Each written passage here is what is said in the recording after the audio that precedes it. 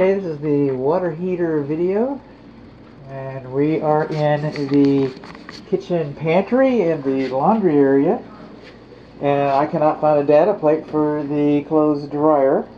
I can find a data plate for the clothes washer. I understand that they do not convey, but it's good to know. Good to know while we're here, you know. Hot and cold's not labeled.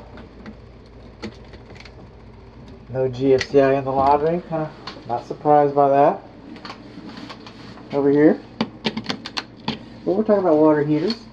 We have right here, what we're looking at is a 38 gallon tank.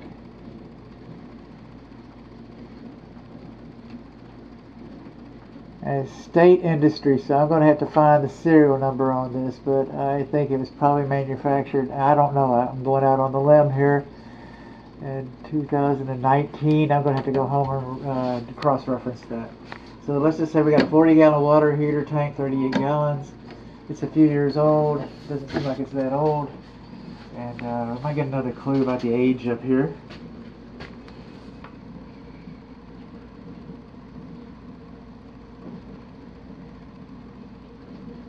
Keep trying.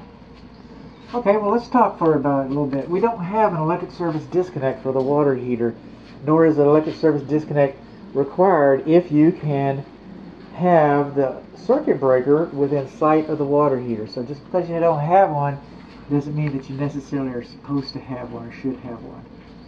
Alright, the water supply line, this is the water supply line that shuts the water off to the tank. It comes up, this is the care and use manual.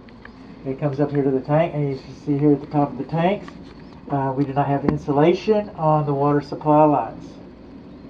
Okay, we do not have insulation on those. Also, this is the temperature pressure relief valve, and it's supposed to be insulated as well, and we do not have insulation on that.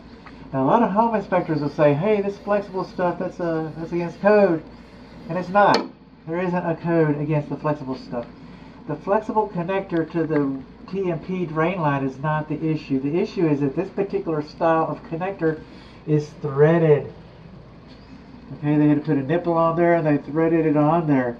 You cannot have threads. That's where the code will trip you up right there. Now I know nobody's going to disconnect that and then cap it off. But that's what it, that's basically what it's for. That's what it's for. So we don't have okay. Our T&P drain line is is not insulated and not properly threaded. Also, the pitcher pressure relief valve drain line is supposed to have an air gap in the same City of Dallas, City of Dallas, and the International Residential Code. City of Dallas says that you're supposed to have an air gap in the same room with the temperature pressure relief valve, and we don't have one of those. One thing I can't tell you is beyond the scope. We're in a multi-housing situation, as I do not know where the temperature pressure relief valve discharges to. Uh, the safety pan is plumb. That's a good thing. Wherever it goes, it goes to wherever it is it's supposed to go. And we already mentioned that we've got a care and use manual. There's a receptacle outlet right there. Have another one down here. Got the light. What wonder how you this light on. Maybe, maybe people would appreciate that. Maybe you can see a little better video there. That's the garbage disposal. There we go.